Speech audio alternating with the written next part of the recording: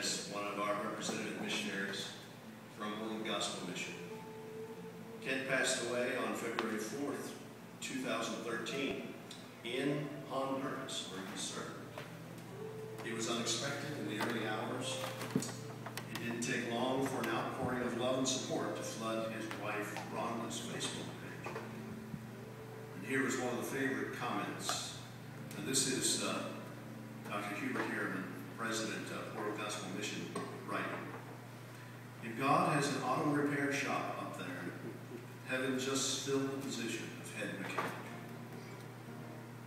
Without question, Kent is celebrating in heaven today with others who have gone before him. Our, our understanding of our second life in heaven is dim,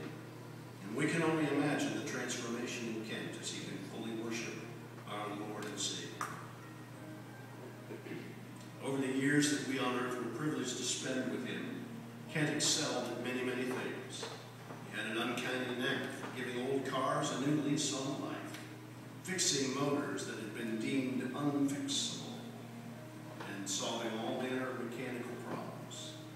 Everywhere he went, he was fixing a church bus in Laredo, Texas, wiring a missionary's home in Kenya, or teaching auto mechanics to underprivileged boys in Honduras.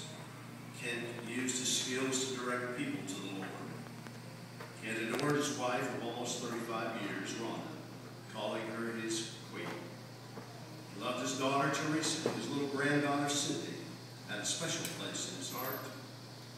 Most importantly, his Savior, Jesus Christ, was the Lord of, of his life. Kent M.